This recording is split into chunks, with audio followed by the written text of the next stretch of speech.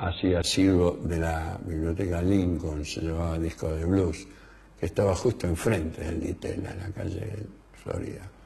Entonces yo veo que el tipo estira la cuerda, hace una pentatónica, ¿viste? Hace tu, tu, pu, pui, ti, ti, con vibrato. Dijiste, Entonces yo digo, uy, yo tengo que hablar con este tipo.